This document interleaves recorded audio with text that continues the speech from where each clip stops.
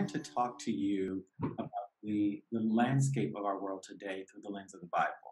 Many times, uh, and rightfully so, people have grievances with the Bible because it's been used as a tool of oppression. It's been used uh, to get other people's agenda across. But that's not its intended purpose. And many times I've noticed that uh, as students come in, they want to know how much Bible do I have to take at Union? And I think that you offer an interesting perspective on on how to read the Bible. Uh, to begin with, would you like to talk to us about that whole perspective on as history? Yeah, so you raised several hard questions at once, um, mm-hmm. but really important ones, ones that are always on my mind. The, the irony of the fact, first of all, let's just say it is kind of a disappointing irony that in our current kind of popular consciousness, people really worry that the Bible is a source of oppression. Uh, they, they worry rightfully because it, it has been used that way, and we can document the, the cases, what verses, what issues, and it's it's a sad history. But you invoked the word history, and something I find sort of exhilarating about getting out of the present with an eye in the present, but stepping out of it momentarily is you enter this world where you, first of all, you look at these documents, which even people who grew up going to church don't know as well as they think they know. They're always shocked by what they find. And your first thought will be, oh my gosh, these sound revolutionary. And not only do they sound that way, but let's go on in history what have been, even as recently as the 18th century, 19th century, what were the big gripes for the people who hated Christianity? Think of a, of a major figure like Nietzsche.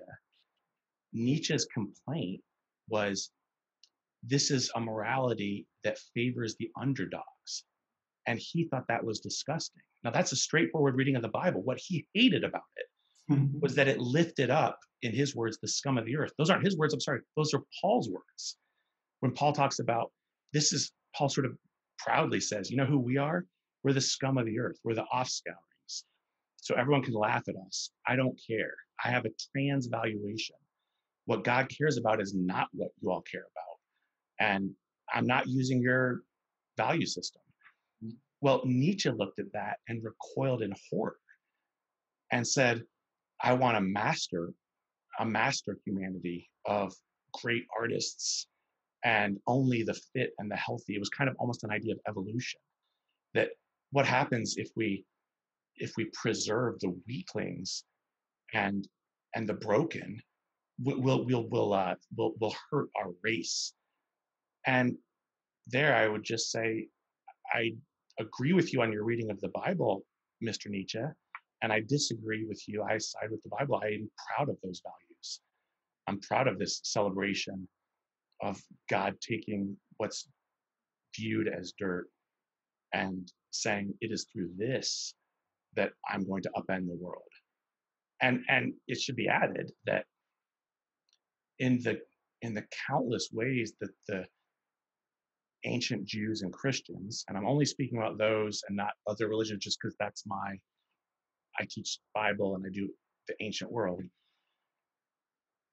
they were ready to thumb their nose at really dominant, long-standing cultural practices and values, and that terrified people, and rightly so. And and the Christians did upend the world in many ways, and so it's a, it's a bit tragic that the texts and the movement that that led to uh, you know Roman governors saying, if these people continue to spread, they will destroy our society and our economy. They're that radical in their politics, in their economics, in their gender values. They let women. I mean, one of the very first pagan comment we have about Christians is a letter from Pliny the Elder, a Roman governor, and he says their women are called deacons. He uses that word. He knows they have their women lead. That's creepy and makes me uneasy. um, this is going to up turn over good Roman values and good Roman order. And I think I would say, good, yes, turn it over. Um, so it's a pity that those texts and that movement have somehow been so perverted in the popular imagination that they stand in the way of revolution. Anyway. And, and maybe that's the, the point is that they do need to stand in the way of revolution for those who do not want revolution. Yeah.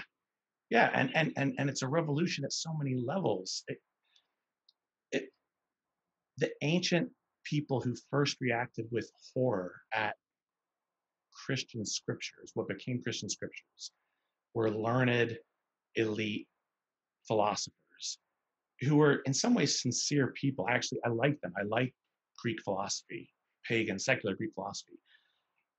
But they said these writings um, are, are the words of commoners. The prose itself is not elegant. They really cared about this elegance of, of word choice and grammar. And so the very Greek that was the kind of Greek we would speak on, you know, in, in casual conversation, even that offended them. But to most of the Christians' credit, rather than saying, no, no, it's actually very good Greek, they, they actually just said, you know what? We're going to take that fact as a datum about the God of the cosmos. And we're going to conclude, interesting, some for this surprises us too. The God of the cosmos has chosen to communicate in the patois of commoners. And what does that tell us? And and and and so even like a, a church father, one of in our uniony language, one of the bad guys, Jerome, who translated the Bible into Latin, said he had a he had a nightmare where because he, he was raised on good Latin prose, you know, and purity of language, and he's an intellectual. And he went off to live in a cave in, in Bethlehem so he could learn Hebrew and translate the Bible. And he said one night he had a dream, and God said, I think you love Cicero more than you love my word. The, the point being, he, he's like, uh, his, his own aesthetic snobbery was still there. And, and he was cut to the quick. Like, yeah, I, I need to let go of that aesthetic snobbery because it touches on a deeper set of values that are inimical to the underdogs that these scriptures I'm translating want to lift up. So, so I say like there, how much are we talking in the current moment about aesthetics? We think of that as like what goes on in art galleries, but it's it's not. It's also like what types of language, what types of voices are celebrated as proper, adequate voices. And so for me to connect something I do, I'm here in my office and I live in the ancient world and I feel sometimes very disconnected. Uh, and yet, there at the very level of Greek grammar, the things that are wrong with the Greek is theologically and politically relevant to a transvaluation of aesthetics. It's and that I don't have to connect the dots for you. That does speak to the present moment. Like, what voices should be raised up? That tells us something different. Interesting uh, that you talk about aesthetics and it not just being how we dress things, but or something that goes into art gallery, but really how we adorn our everyday lives. What's beautiful. Sorry, go ahead. I cut you off. No, I'm just saying that the way that we adorn our everyday lives, things like our language. And um, I even think about the, the t-shirts that people are wearing. The graphic t-shirts are a way of aesthetics of maybe that's your protest, um, which is very insightful. It makes me now want to go read more on aesthetics. But uh, I wanted to ask you about um, I know that you have taught overseas before, uh, that you taught in Australia. Um, teaching the Bible, did you, I mean, give us some background on Australia just a little bit, but also about teaching the Bible there. So it was a culture shock for me. I, I taught um, at Yale Divinity School for nine years. And then my my contract was coming to an end and I looked for jobs. And so it wasn't like I was looking to live in Australia. I uh, was offered a couple of jobs. One of them was in Perth in Western Australia. And I took it a little bit out of a sense of, I guess, adventure. Why not? Why not go live in a very different place? And the, among the things that were very different about teaching there, one, I wasn't teaching at a divinity school, it wasn't at the graduate level. I was teaching some graduate students, but I was mostly teaching sort of intro courses in the humanities at a state secular school, right? A public university. So just like you would, whatever, go to Michigan State University and you, you take your history class, you take your intro to Bible as literature class. I was teaching that kind of class to that kind of student. And Australia is much, much more secular than the United States is. So there are there were vastly fewer people who had grown up maybe sometimes attending church or with a cousin who went to church. I mean, it was much more like for me to teach the Bible there would be like teaching the Bhagavad Gita at Michigan State, where a lot of the students would say, okay, I don't even know what continent was this written on? What are we even talking about? Um, and frankly, I found that kind of liberating. I mean, it was fun because the students didn't know up from down. And they all came in with kind of an attitude that, like, I'm sure this is stupid and something we've transcended. And that was fine with me. It didn't bother me. And it just meant we got to start afresh and dive in. I was like a tour guide. Um, and, and actually, I think in some ways it made me a better teacher because I couldn't assume any knowledge whatsoever. Not knowledge about the ancient world, not really knowledge about history or ideas. They're just under, they were undergraduates. Um, and so that forced me to speak. I, have always um, aspired to present even hard ideas in plain language. I, I don't want to, I want to make things as clear as possible. I had to go even further in that um, to explain ideas for them. And, and also, I mean, there were just funny moments because although there aren't that many religious people in Australia, there would be my people would take the class who were kind of fundamentalists, if I can just say that, and so they would feel very awkward because they would feel like I was not teaching the Bible with the reverence it deserved. I was teaching it just like it was a book. Um, and it took a little bit of work with them to see that to teach it just as a book, to engage it in that mode was not to devalue it. Um, it was one mode and it didn't have to be the only mode, but that it gave us a common language for them and their classmates to engage on equal footing. And if I can, some of my happiest moments were actually, I find this even here at Union that somehow engaging with this ancient text that, as I said, is foreign to everyone, even people who know it kind of from growing up. One of the fun things that happens in seminars is it, it destabilizes all of us in a really refreshing way, and people get out of their boxes so I can remember once in Australia, we were having a, a mock debate where I was trying to, I said, okay, I'm going to divide up the class, and some of you have to. We took a famous um, controversy in early Christianity where the Apostle Paul and some of his folks were arguing against other believers in Jesus who were more of a traditional Jewish orientation, and they had a really legitimate disagreement. And what I did is I put some of the more fundamentalist Christian students on the Paul side. That's the winning side of the debate, according to the Bible. And I said, You're going to argue his side, and some of the other students are going to argue the other side, because I want you to enter into why, why there really wasn't something to argue about. Because for these students, I think their first thought was, Paul said it, it's in the Bible. Clearly, that was the right answer. And that missed some of the drama that these were hard decisions and they weren't sure what God, what, what way was God leading. Like, that's a hard issue. Okay, so anyway, and so I helped both sides prepare for the debate for about 10 minutes.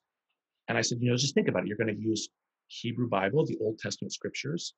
Everyone agrees that's an authority. You're going to use these various other, what Jesus taught, because everyone, by definition, if they're followers of Jesus, they care what he taught. And in about three minutes, as I'm going to the two sides, kind of giving them some help and pointers, the most stubborn fundamentalist kid who thought I was disrespectful to the Apostle Paul at times, he turned to me and he said, We're going to get killed. And his point was like, if I have to argue Paul's side, like he's got nothing. He's got no teachings of Jesus to go with. He's got no clear scriptures. And he's like, why did Paul even win? And then I felt like, ah, I've got him. Like now he's curious. And I haven't asked him to say Paul has a weak argument. I've said, you make re- remake it, remake Paul's argument and see what you think. And he was like, this, this is hopeless. And then he was curious for the first time, genuinely curious. So why did this argument win? And it wasn't just like, I'm going to side with the Bible because the Bible says it won. And then he was curious about the history and about like how his own faith and his own doctrines had come to take shape. So it was a very long answer, but I think it gives you a little flavor of like what was kind of fun about the moment. And as that class went on, I've, I've had the same thing here at, at, Union. You'll be having a debate. We I just had taught the Gospel of Luke, and all of a sudden, you know, I'm kind of pitting Jesus against his opponents from the Gospel, and I'm saying like, no, let's flesh this out. And all of a sudden, you know, one of our Jewish students here from across the street at Jewish Theological Seminary, he's a rabbinical student. He's got his kippah on his head, and he and one of our atheist students are teaming up to defend Jesus because they're like, no, no, he's right, he's right. And, and there's someone who's a Baptist on the other side of the room who's like, no, he's not. The, the, Pharisees are clearly right in this case. Jesus isn't being fair. And like, that's fun, right? Because now no one, everyone's forgotten, oh yeah, I'm an atheist. Oh yeah, he's Jewish. Um, it's just like we're in the text and we're making new, you know, that's something I love about it. Yeah, and that's one of the things that I love about Union. Um, and thank you for highlighting that when I took my Bible class there, when I was a student, my Bible class had an atheist. It had uh, Jews. It had um, Muslims who had come from international places. We had uh, Asian Indians. We had Dalits, uh, the Untouchables. It was so diverse. I mean, we had then, you know, Pentecostal, foot stomping, hand clapping. Exactly. And it was such a rich conversation. And I have to say that the most that I learned about Christianity was from the atheists. Totally. I mean, what and and here's the other thing I would say is is kind of fun about that. If I was to name, there are only 12 students in the class, that we, the one I'm just thinking of. We also had a Nigerian woman, an Indian woman, a Chinese man, um, gay and straight, one trans person, and here's what I think was kind of refreshing, is that day one we're used to what are our markers of diversity, and it's my ethnicity, my skin color, my gender, etc., right, or my religion I'm an ace. And and what was kind of fun was that by by week two already, those weren't those weren't the markers that were relevant as we were mixing it up with the text. We built enough friendship and trust pretty quickly that all of a sudden, consistently, it's uh, like I said, oh, the atheist and the Jew. I sound like I'm telling like a setup for a joke, arguing with the Baptist, and the Chinese and Indian and Nigerian making a, uh, you know disagreeing with each other and and, and denominational things. None of those things were the issue. Um, and so yes, there were insights coming from all over the place uh, that and weird sympathies would emerge and that was kind of fun because it, it felt like oh for when we're here together there's different diversities that we're talking about or feeling um, you know i remember one person saying it was like the last day of class and she was talking about her wife I, I hadn't known that that woman was gay. I mean, it, it just hadn't come up. She talked a lot. She contributed a ton to the class, but everything and and from her life even. But like that wasn't the piece that mattered to her in her engagement with scripture. Um, it wasn't like she was like hiding it. It was just like there was these other things about her life she wanted to bring in to her discussion. So I, I thought that was like I think we all found it kind of refreshing. Yeah, I'm just sort of pausing here for a second because the sirens are going in the background.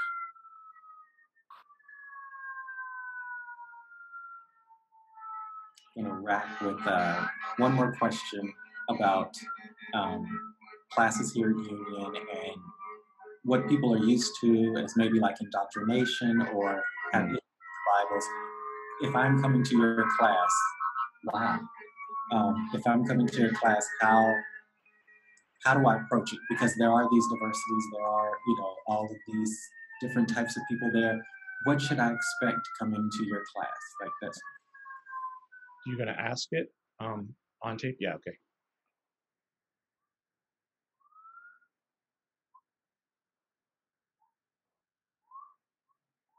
Okay, as soon as he stops with the what what what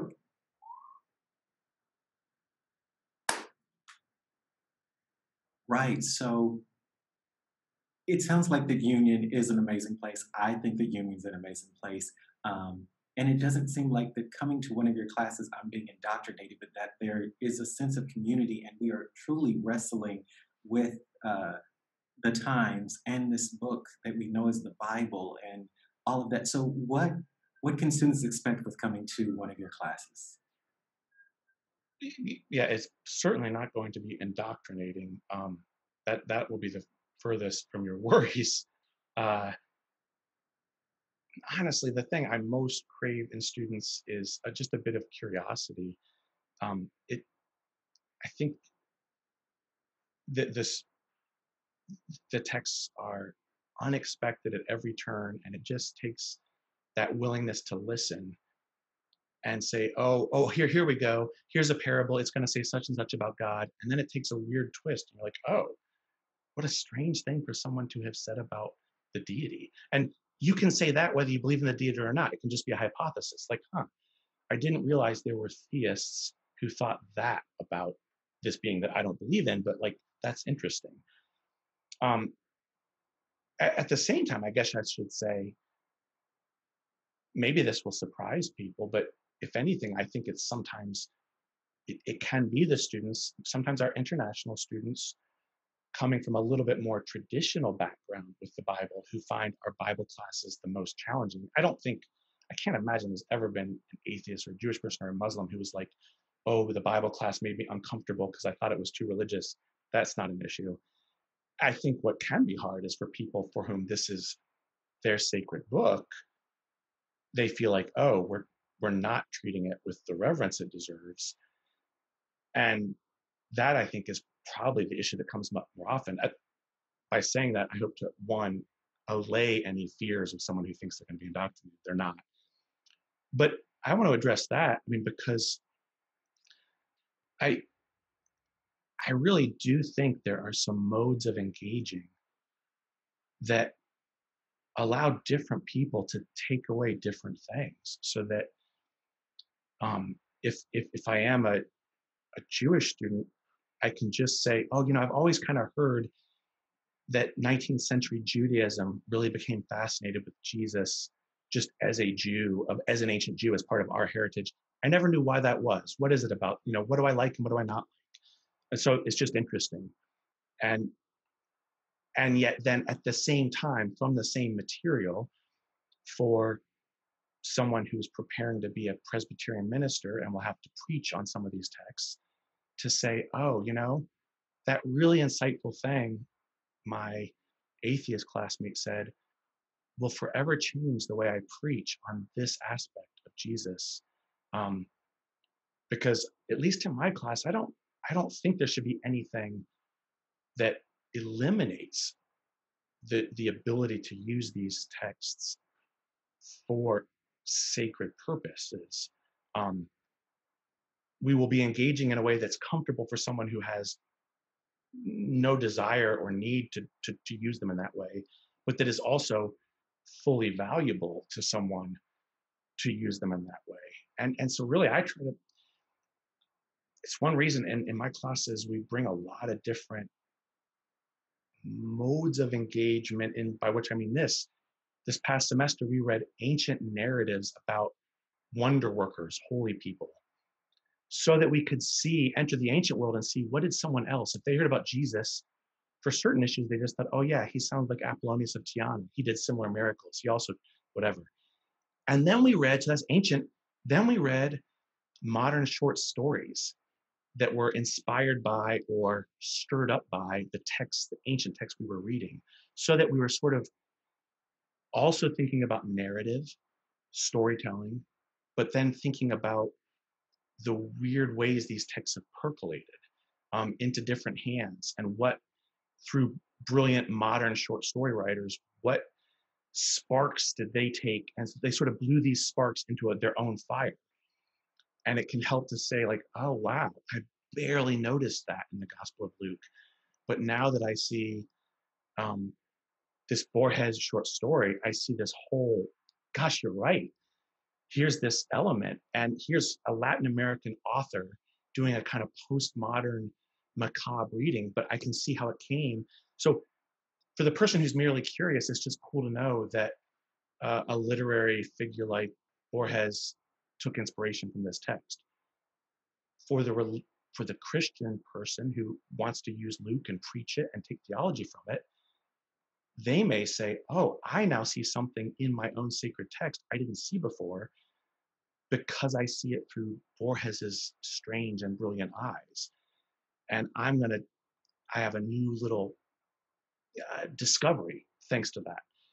So, so I guess one reason for these different modes of engagement is to decenter us and let us all hear a lot of different voices so that our diverse students who are going on to do different things you know can each take something else away that will be useful for their ministry for their academic work or for their own just personal you know psychological spiritual life that's my hope. That's sort of my that's my prayer actually um, for these classes. Is I don't want to speak.